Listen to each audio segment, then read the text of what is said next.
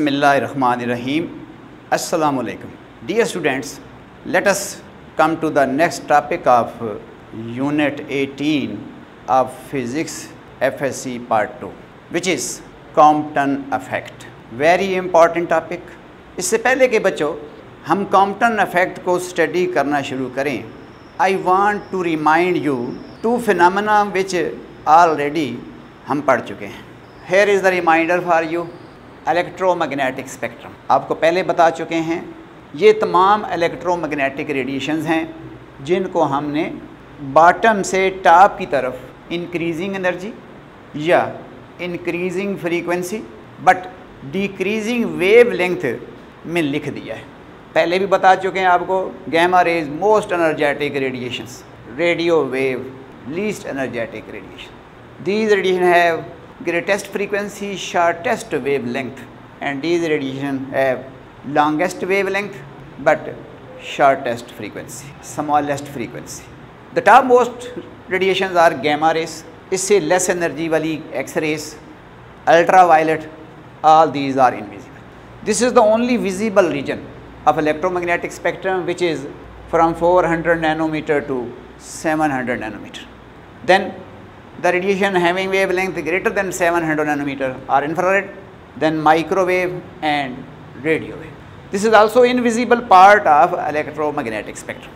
इससे पहले रेडिएशंस और मैटर की दो इंटरेक्शन बच्चों हम पढ़ चुके हैं black body radiation and photoelectric effect these are the interaction of radiation with matter in the infrared, visible and ultraviolet regions of electromagnetic spectrum हमने इन इंट्रैक्शन से कंक्लूड किया है कि इन अलेक्ट्रोमैग्नेटिक वेव्स की एनर्जी कॉन्टीन्यूसली ना तो अमिट होती है और ना ही कॉन्टीन्यूसली अब्जार्ब होती है। इन रेडिएशन की एनर्जी क्वान्टाइज है।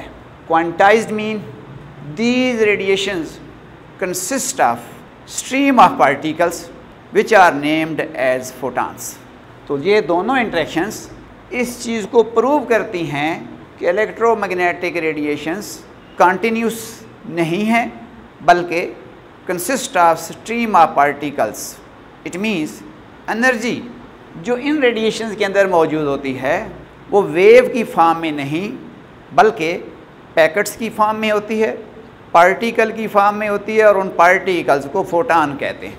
एक फोटान की एनर्जी की वैल्यू आपको बताई थी बच्चों कि कोई भी एक फोटान है तो उसकी energy E that is equal to h f this is quantum theory of radiation h is the Planck's constant f is the frequency of radiation and this is the energy of one photon one photon mean Jin particle से ये रेडिएशनें मिलकर बनी हैं, उनमें से एक particle की energy h f so this is energy of photon. Now, according to electromagnetic theory, the momentum of these radiation is that is P and it is equal to E divided by C. What is E? Energy of radiation. What is C? Speed of light which is equal to 3 into 10 raised to power 8 meter per second in the free space. So, this is the momentum imparted by the electromagnetic radiations. So, if we put E equal to h over here, then this expression will give us the momentum of one photon. So, momentum of photon is hf over c. This is the momentum of photon. It means जिन radiations की energy greatest है वो कौन सी वाली हैं जिनकी frequency सबसे ज़्यादा है जिन रेडिएशनों की फ्रीक्वेंसी सबसे ग्रेटेस्ट है, उसके फोटानों का मोमेंटम भी सबसे ज़्यादा है। इसका मतलब है, अगर हम एनर्जी या फोटान को in the form of wavelength लिखें you can write that is equal to h c divided by lambda हम जानते हैं c equal to f lambda and f equal to c over lambda, putting the value of f over here, you get the energy of photon in term of wavelength. Here you can also express the momentum of photon in terms of wavelength if you put the value of c here which is f lambda f और f cancel हो जाएगा बच्चों you get the momentum of photon as h over lambda. It means energy of photon directly proportional to frequency, inversely proportional to wavelength.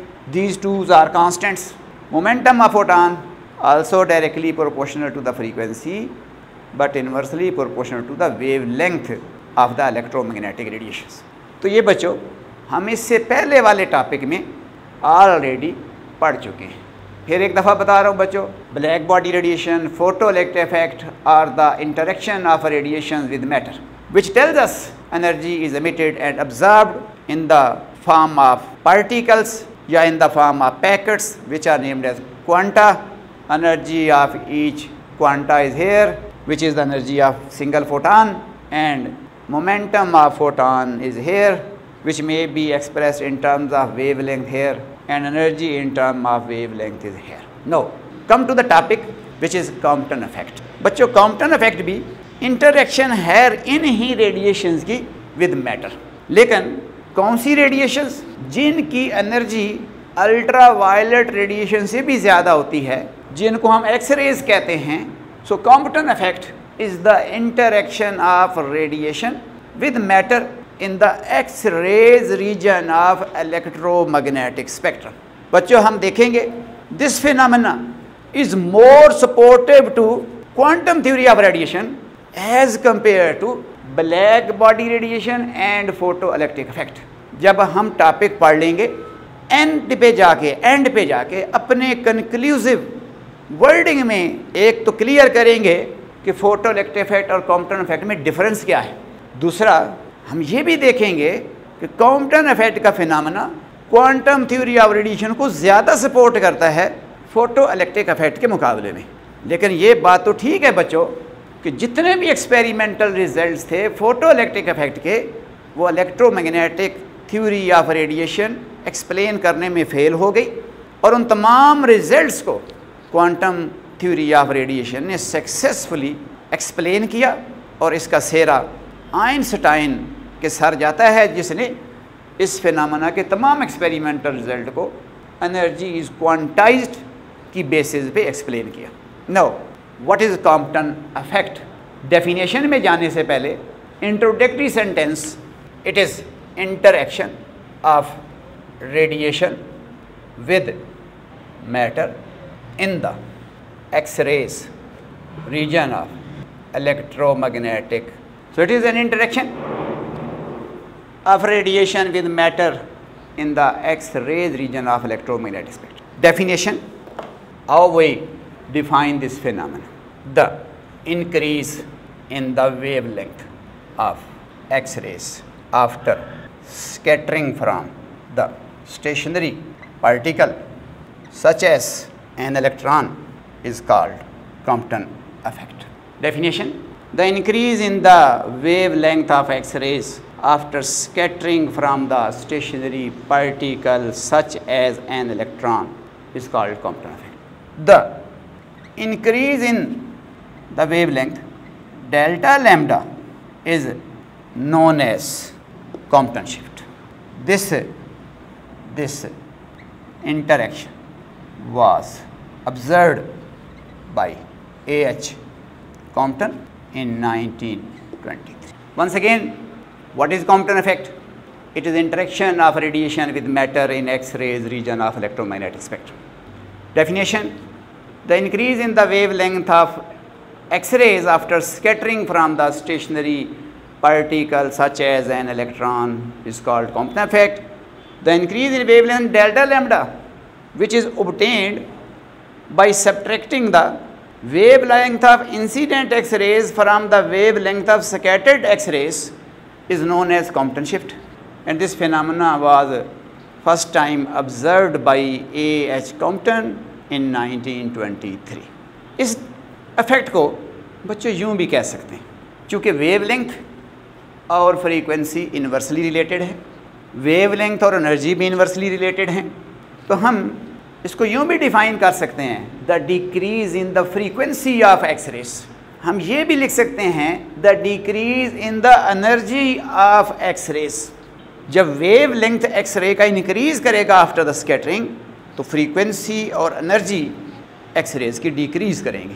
तो in term of frequency अगर definition लिखें तो हम लिखेंगे the decrease in the frequency of X rays in terms of energy अगर define करें Compton effect को तो decrease in energy of X rays लिखेंगे क्योंकि हम theoretically increase in wavelength calculate करने जा रहे हैं। इसलिए हम जो फाइनल रिज़ल्ट ऑब्टेन करेंगे, वो in term of wavelength obtain करेंगे। इसलिए हम इसको भी in terms of wavelength define कर रहे हैं। The increase in the wavelength of X rays after scattering from matter कह लें? स्टेशनरी पार्टिकल कह लें इलेक्ट्रॉन कह लें मटीरियल पार्टिकल है। तो it is this are the radiation this is the matter and when these radiation scatter from the matter their wavelength is increase and this phenomena is known as Compton effect.